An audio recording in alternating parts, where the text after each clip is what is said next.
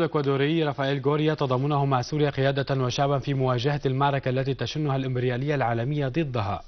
وخلال حفل تنصيبه لولاية دستورية جديدة بمشاركة السفير السوري في فنزويلا غسان عباس الذي نقل تهاني السيد الرئيس بشار الأسد وحكومة سوريا لرئيس كوريا. أكد رئيس كوريا أن بلاده مستمرة في النهج الاشتراكي اليساري ولا تستعين بقوى خارجية أو أي قواعد أجنبية وباتت أفضل بكثير مما كانت عليه قبل سنوات.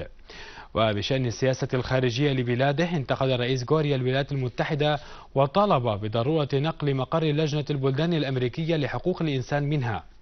وكان الرئيس غوريا قد فاز في الانتخابات التي جرت في الإكوادور في شباط الماضي لولاية دستورية جديدة تستمر أربع سنوات. نحن نقرأ كتابا مفتوحا والأمور واضحة بالنسبة لنا. إنها مؤامرة على سوريا وليست مطالبة من أجل الديمقراطية. خلال السنوات الست الماضية ودع نحو مليون إكوادوري الفقر وانخفضت نسبته بشكل كبير. وحققنا شيئا أساسيا هو إسقاط اليأس.